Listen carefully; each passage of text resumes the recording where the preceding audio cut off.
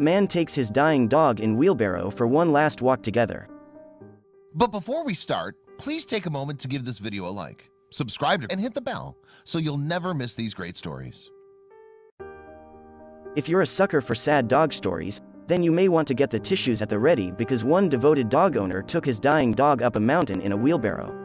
Carlos Fresco took his Labradoodle, Monty, up South Wales's highest peak after he'd tragically been diagnosed with leukemia 18 months prior.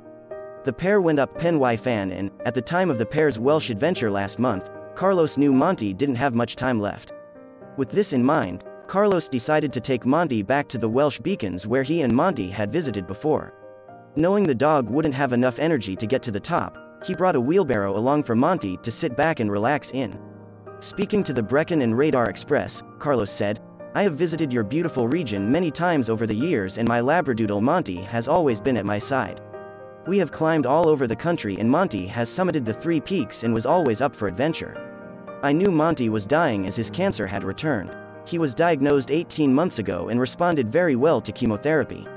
But unfortunately his leukemia returned 8 weeks ago and he declined very rapidly.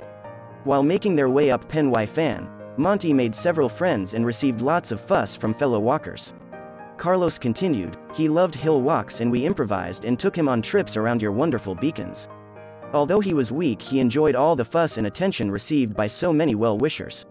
People on the hills were so kind and equally so sad at his deteriorating condition. In fact, total strangers asked if they could share in pushing Monty on his last journey. Many total strangers shed a tear as we all loved dearly our little four-legged friends. He further thanked people for their support, encouragement and genuine concern over Monty. Sadly, Monty lost his battle with cancer on June 28. In the wake of his dog's death, Carlos said that Monty touched so many lives. He added, Monty made everyone he came into contact with smile and just take a moment to reflect how sometimes life's not that bad. Our little companions are never judgmental, are always there waiting for you and offer comfort when things haven't gone well. I'm not crying, you are.